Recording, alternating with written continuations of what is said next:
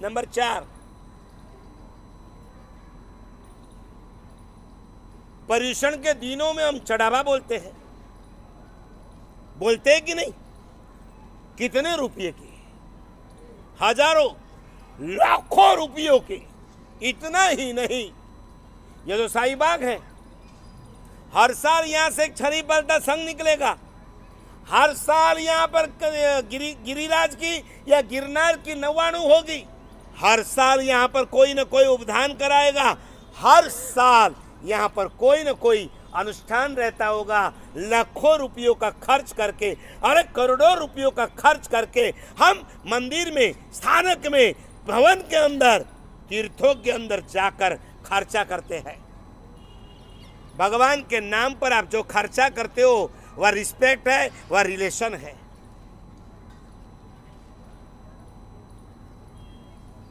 मुझे लगता है कि आज आप सिर्फ़ सोचने का ही काम कर रहे हैं।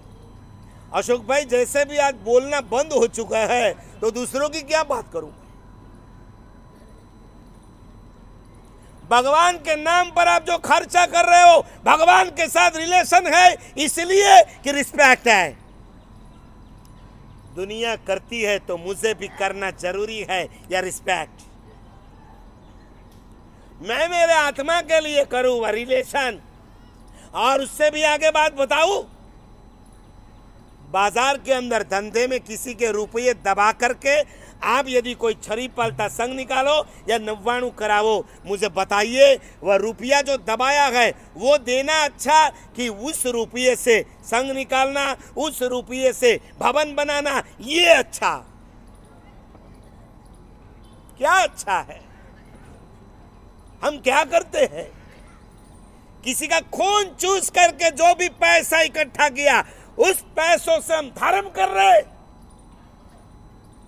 उससे अच्छा है, एक भी रुपया मत खर्चो। लेकिन आपके पास जो भी रुपया आवे, वह नीति के ईमानदारी से होने चाहिए। याद है, भगवान महावीर के समय में पुण्य श्रावक हुआ था। कितने मंदिर बनाए? सुना? कितने छरी पालते संग निकाले? देखा कभी? कितनी नव्वाणु कराई? पढ़ा कभी? कुछ नहीं कराया। रोज का एक सामायिक किया। ईमानदारी से धंधा किया। महावीर के जबान के ऊपर कौन चढ़ा था? जब श्रेणी की नरक तोड़ने की बात आई तो महावीर ने कहा, जाओ पुण्य के पास, एक दिन का सामायिक लेके आओ। आप जिस सामायिक में बैठे हो ना, उसमें ताकत है एक नरक का पाप तोड़ने की। आज सामायिक में मिले, आप कब मिलोगे? बाउसी धकली चैतर सु तेरह सावे, वंदारे आपने मलूला। और मेरा यह नसीब है कि मैं छह साल से अहमदाबाद में हूँ। और छह में से तीन बार तो मैं सामायिक में प्रवचन करने को आया। और मुझे कहने तो 2008 से शुरू किया ना तो 11 साल हो ना 12 साल, ये बारहवा होगा। 12 साल के अंदर सबसे ज़्यादा समय सामायिक के अंदर निसरा देने वाला कौन होगा? एक ही महाराज। हाँ? अच्छा तो मेरे नाम पर ही आपने कर दिया लगता है।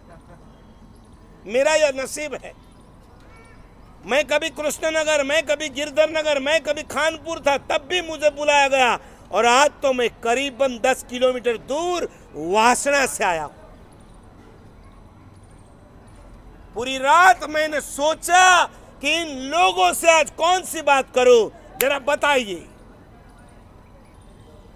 आपका भाई है, बिज़नेस में अलग हो चुका है, और भाई को धंधे के अंदर बहुत गड़बड़ हो चुकी।